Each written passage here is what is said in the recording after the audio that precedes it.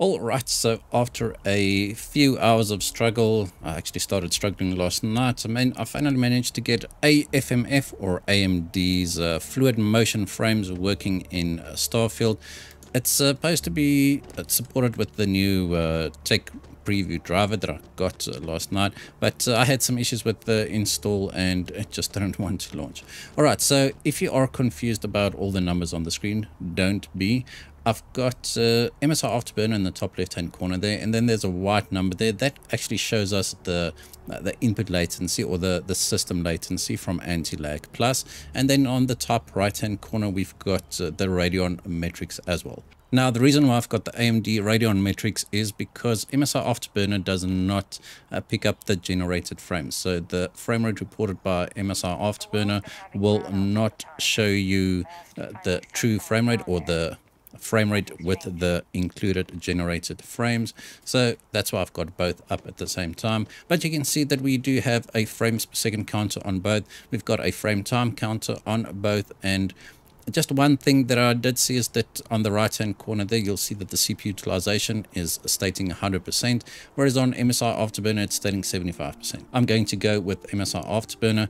Sorry if this video is going to have a few more cuts than usual. I broke a tooth yesterday and my tongue is very sore. So I'm lisping a little bit uh, more than uh, usual. And uh, if it does sound a little bit too strange, then that's the reason why. All right, so at the moment, let me just get rid of uh, most of the stuff here. At the moment, we're at 1080p. I'm just on the medium preset. I just disabled uh, upscaling, right? This is on an RX 7600, so just a basic entry-level AMD 7000 series GPU with 8 gigabytes of VRAM.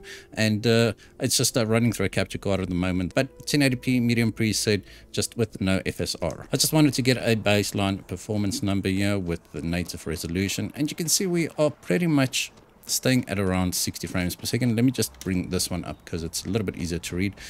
We are dropping below 60 frames per second every now and again, but on average, I'd say it's, it's around 60 frames per second. Unless we actually start fighting, then it does drop below if they will actually engage me in combat this time. Sometimes they do and sometimes they don't. And my companion just left because she did not approve of what I was doing. So over here it even dropped below 50 frames per second.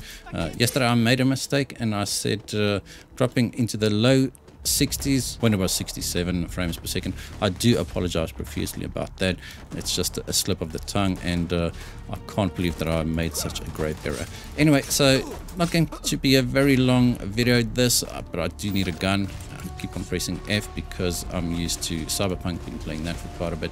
You can see we are averaging around 60 frames per second, right? Right, so one good thing about AFMF is that it is driver level based, right? So you don't need game support for it. I mean, there needs to be game support for it, but you don't need to enable it in the games menu. You can enable it directly from the AMD Radeon software, AMD Adrenalin software, and uh, that's exactly what we'll do now as uh, soon as these guys stop killing me, which they probably won't, so I'm just going to reload my save. Right, so I just reloaded my save, and I do have a companion still, so that's good. So what you actually need to do is you need to go into AMD's uh, Adrenalin software, yeah, and you need to enable fluid motion frames, right?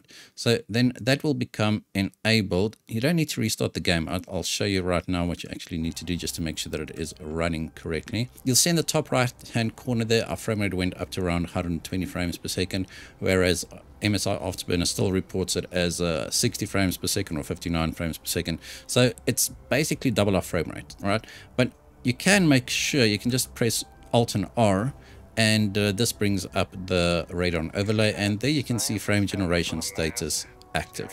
All right. And uh, too many alt tabs there.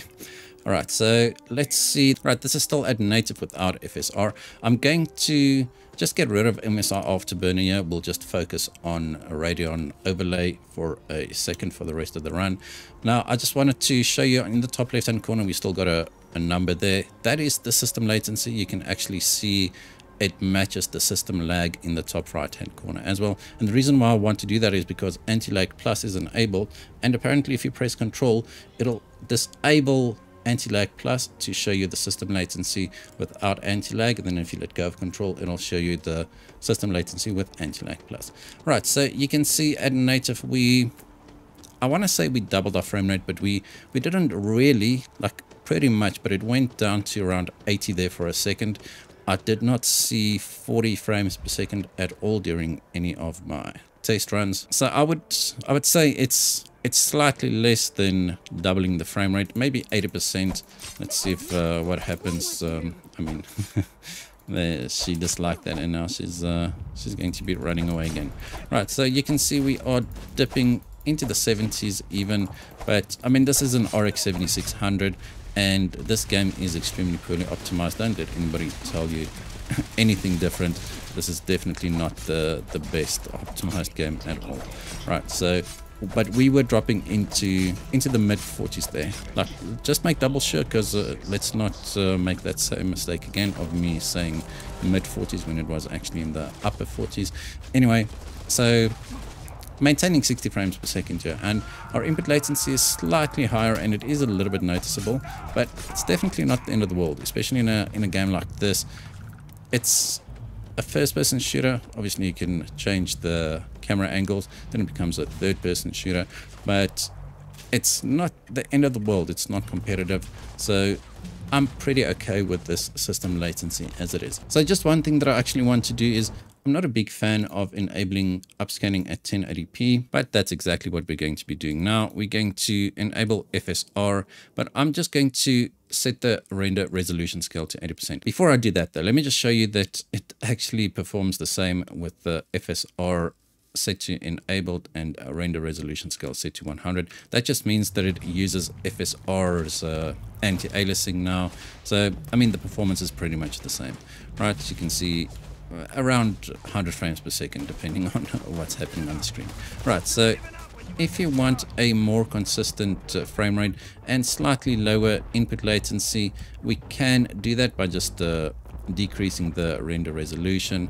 And to give you an idea to to actually stay above 60 frames per second with this GPU previously I had to run it at uh, FSR 60% uh, resolution scale. So over here we'll just go and uh, drop down the resolution scale to around 80%.